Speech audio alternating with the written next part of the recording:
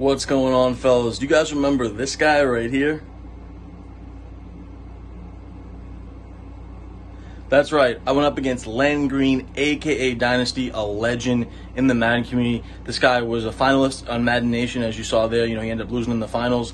He also won the Madden Challenge back in 2009. I think it was $25,000 total.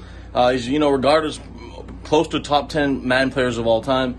He's done a lot. He's a legend, like I said. So it's always awesome going up against these legends in Madden. And if you guys want to learn to be a pro player, make sure you guys check out my coaching lessons in the link in the description below. We have 30 minute, 60 minute sessions, the lowest prices in the industry. Also have now film study review, full page paper on what you can do to improve. Uh, you can check that out. All you gotta do is submit your video, whether it be on Twitch or your, your video you record yourself of offense, defense, whatever it may be. So you can check out that.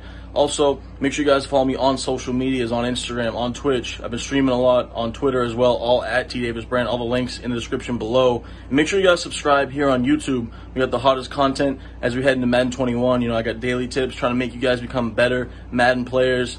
But that's it, guys. Let's jump into the video. The pro player gameplay, me versus Dynasty from our high stakes CFM.